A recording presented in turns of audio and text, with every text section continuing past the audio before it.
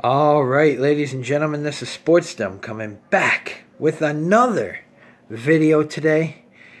And uh, head coach Anthony Lynn of the Los Angeles Chargers, they find their backup quarterback for Philip Rivers. They sign former Buffalo Bills, Baltimore Ravens, Cleveland Browns quarterback Tyrod Taylor going to the Los Angeles Chargers on a two-year contract.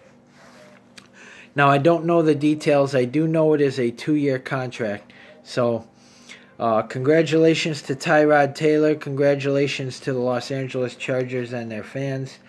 Uh, Tyrod Taylor was rumored to be going to Miami to compete for the starting job. Uh, that is not the case. He reunites with Anthony Lynn uh, in Los Angeles, and uh, he will back up Philip Rivers.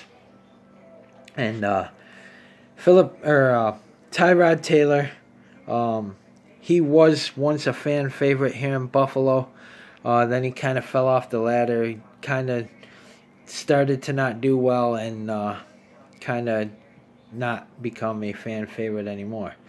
But at first, he was a fan favorite. So uh, I don't know uh, how well he's going to do out there in Los Angeles. I think Anthony Lynn can help him though.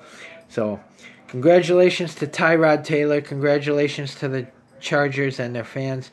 Tyrod Taylor going to Los Angeles on a two year contract. Comment in the comment section below on what you think of this signing. And as always, if you like my videos, like, subscribe, and hit that bell notification so you don't miss a video. This is Sportsdom. Go Bills.